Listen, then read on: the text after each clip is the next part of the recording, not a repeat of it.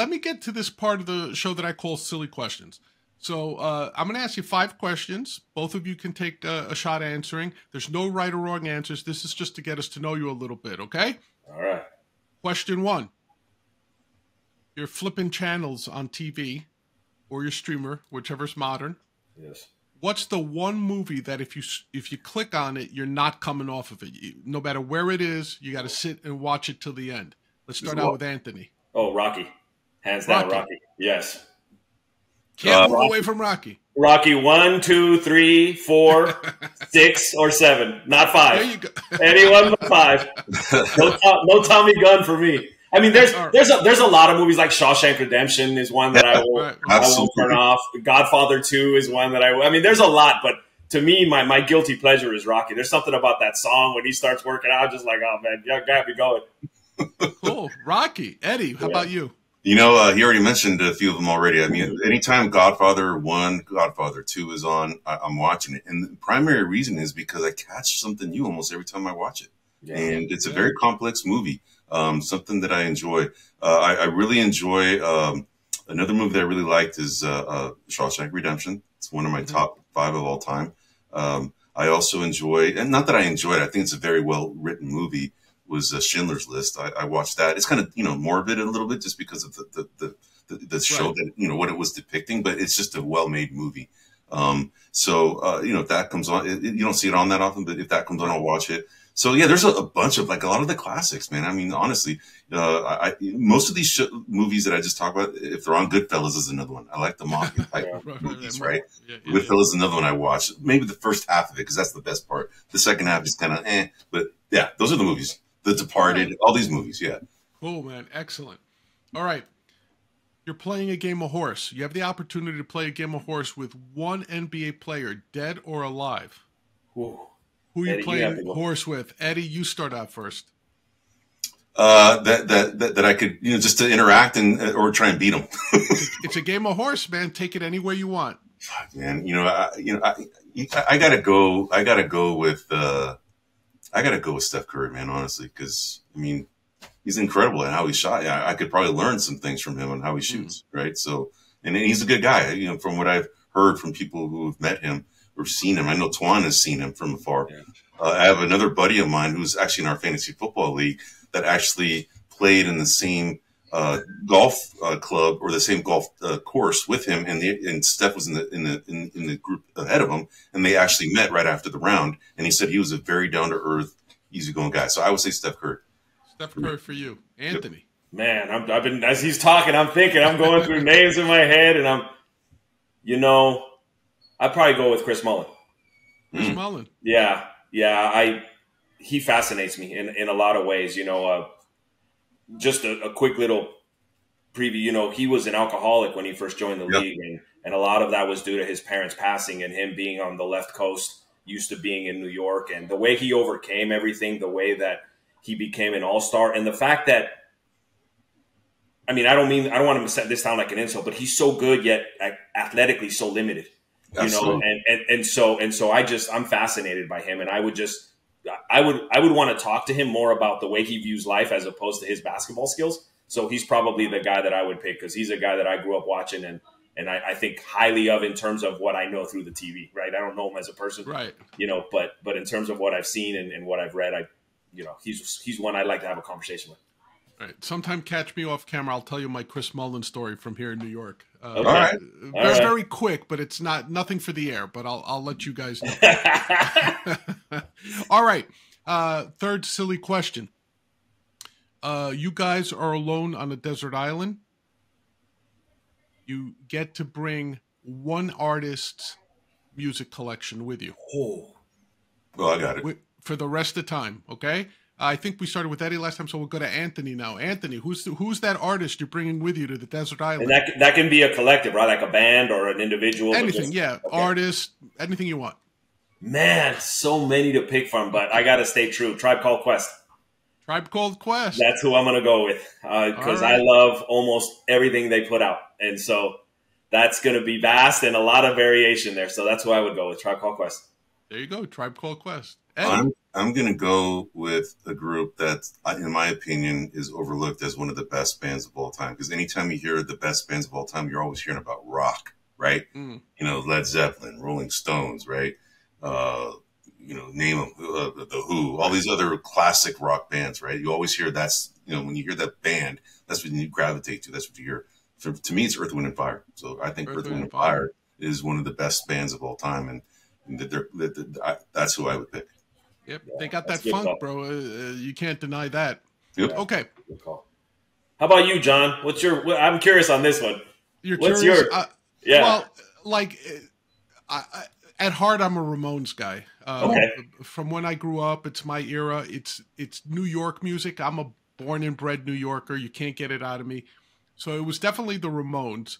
Um, they also have like a 20 year catalog I could choose from. Yeah. Uh, but I will say one thing: if there was one band that comes very close for me, very very close, it would be Rancid, who's a California band. Oh, yes. Uh, you know that came out of the punk revival in the in the yeah. mid '90s. But but I, if you put a gun to my head, I would say the Ramones. Yeah, I'm a okay. punk rock yeah. guy, uh, aging punk rocker, which is a sad sight. But yeah, that's that's me.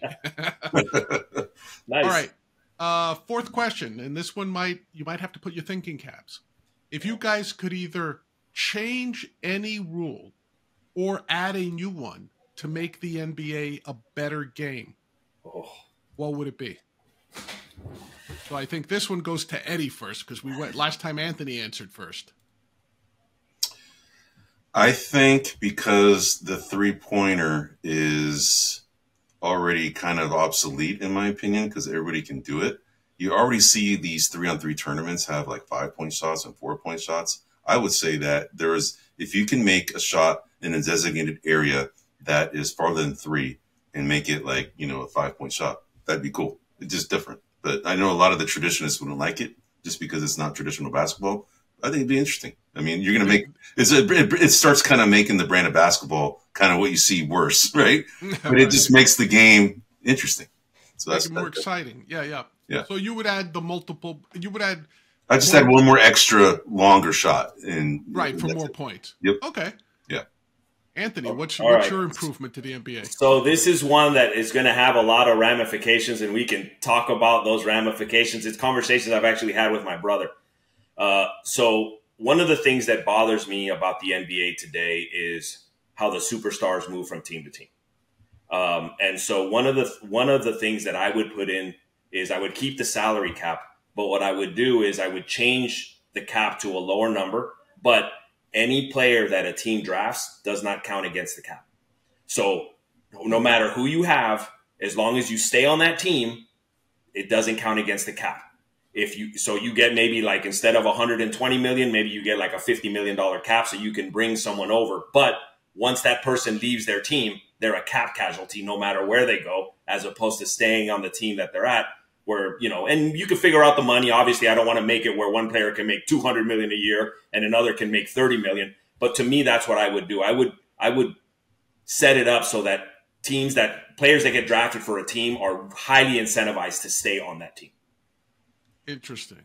Yeah that i haven't heard that one before but just off the top of my head i could see where you need to put a lot of thought into that because like yes. you said there's a, there's a lot of number crunching you have to see what the trends would be and whether you, the union would go for it because I could see where the union would be like, nah, man, we like this moving around because it causes bidding for players. But at the same time, it lets you keep superstars with no ramifications other than the salary if you've drafted them. So theoretically, I could see where someone drafts like a Wembanyama and they're like, "Hey, you're not leaving," or Giannis in Milwaukee, yep. "You're not leaving because we're the ones who can pay you the most, right? And we could do it forever."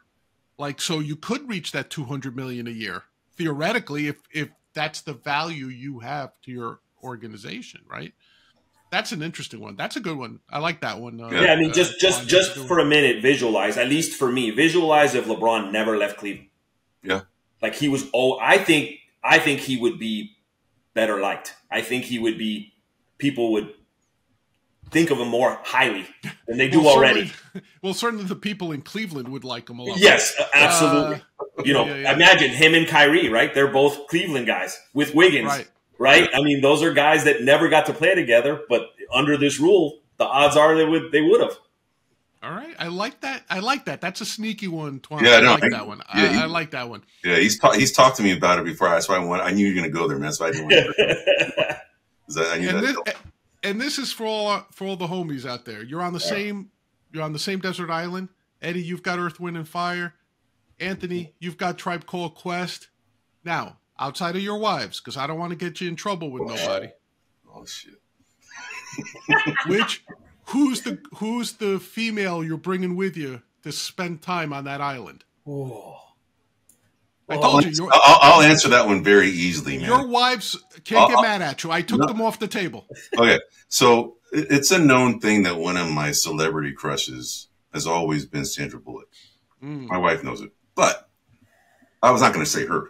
What I was going to say is, if you ever watch, you know, the Univision or Telemundo, You'll pick on, a, ra- on rare occasion. If if you watch that every day, you'll pick someone different, man. So, so I'm gonna say any any any. I'll watch a week's worth of Univision or Telemundo, and I'll pick a girl every day from that freaking channel.